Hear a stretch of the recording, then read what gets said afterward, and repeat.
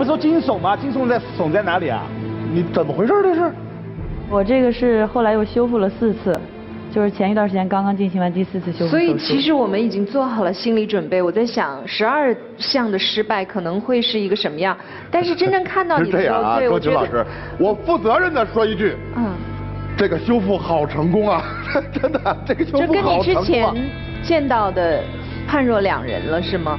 所以其实我们现在看到的很正常、很漂亮的一个女孩。我也看不出。对。雷老师眼中的惊悚。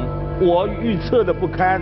嗯，你认为现在这张脸还存在什么问题吗？呃，就是仔细看左右脸还是有点不对称的，然后鼻子还需要一些调整，胸部还需要一些修复。啊，不管那些，我为你高兴。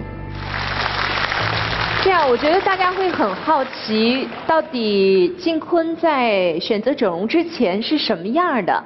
我们通过照片来了解一下好吗？这张是静坤。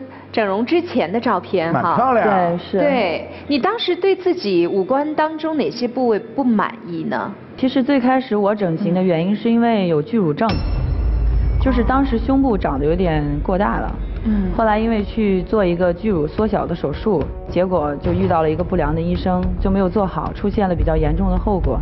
当时是造成了右乳房的这个缺失，所以说也是为了修复它，找了很多医生之后。就是大部分的医生都采取拒绝的一种态度。嗯。最后我一个偶然机会碰到了一个可以帮我修复的机会。嗯。他，但是他当时就跟我讲，他说，我不但要帮你修复胸部，还要给你一张美丽的脸。那我当时也是出于感激之情吧，然后就接受了面部整形的建议。结果后来。又出现了很不好的问题。我们现在听起来都感觉像一个连续剧，是因为做了一个手术之后，需要另外一个手术来修复，在新的手术当中又出现了问题。对，是这样的。中间也就是说，他给了你很多的橄榄枝。嗯。等到你修复以后，会更加的美丽。作为一个女孩，面对这样的诱惑，有时候可能确实是禁不住。主要是也是修复心切。因为这个胸部修复太难了，再加上当时他给了我那么好的条件，我确实有点懵了。所以当中到底发生了什么样的故事？我们把时间交给今天的主角，有请主角靳坤。